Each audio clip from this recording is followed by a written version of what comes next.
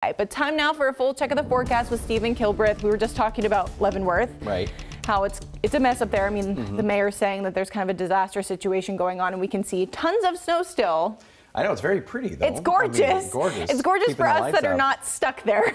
yeah, I, I sure. actually, uh, uh, you know, was scrolling through TikTok where mm -hmm. where you go for like 10 minutes yeah. and then you realize it's been seven hours. Yes, but, no, exactly. I do that all the time. But there was some people from Leavenworth that got stuck there. They went there and they just were gonna like have a little vacation. And, and now they've like, been there for days. But they're not even days. from the area. Like oh, they, wow. they flew in from somewhere out of state or something like that. But oh my goodness. But yeah, no, I mean it's a beautiful beautiful spot. But I mean the services and all that kind yeah. of stuff that's uh, certainly been a problem. And I know we both uh, live in the Snoqualmie Valley, so there's yep. a lot of photos out there too of uh, flooding and water and all the mm -hmm. creeks and mm-hmm. things like that. So uh, yeah, keep water those everywhere. photos coming in. Water yes. everywhere. But today will be a dry day. Right now in Seattle, it's looking pretty nice. You can see uh, the mountain here and the stadiums and clear skies and uh, getting ready for our sunrise a little bit later on as well. So it's not too bad of a start to the day. Right now, 35 degrees, winds out of the northeast around 7 miles an hour. And our current temperatures throughout the region, 32 in Darrington, 36 in Silverdale, 32 in Ferndale. So still below freezing in some places like Whatcom County. Uh, today's forecast, though, mostly clear and 35 now, partly sunny and 41 by noon, and then mostly sunny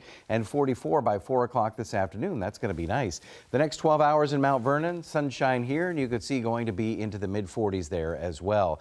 Here's the next 12 hours in Chehalis. We have some clouds now, but should burn off and be a pretty nice day there with your uh, temperatures topping out into the upper 40s. The next five days look like this. You can see temperatures going to be in the uh, low 50s as we get into Tuesday and Wednesday. Now, these are going to be pretty wet days as well. Monday, we're going to see some rain early on. We'll show you that in just a second here with our future cast. Seahawks today, they're playing in Arizona down in Phoenix. Mostly sunny, calm winds. Temperatures there are going to be a very nice 68 to 73 degrees for that game.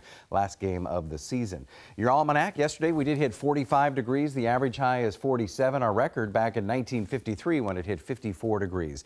Now the big picture here is our satellite images and you can see where we are here, clear skies. Nothing much happening in the way of uh, showers or even clouds, but our futurecast is going to show you when we're going to see that rain move back in again.